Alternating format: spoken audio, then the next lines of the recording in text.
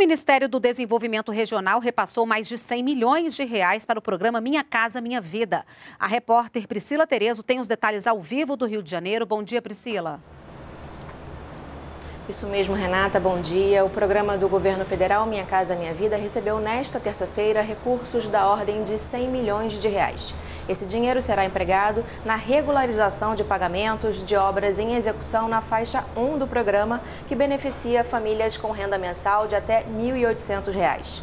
Ao todo, são 234 mil unidades em andamento em todo o país. O Ministério do Desenvolvimento Regional também autorizou novos financiamentos para as faixas 1, 5 e 2, com o uso do Fundo de Garantia por Tempo de Serviço, o FGTS. Só nesse ano, a União já fez repasses de 3 bilhões e 270 milhões de reais, a maior, maior quantia para a faixa de renda mais, mais pobre.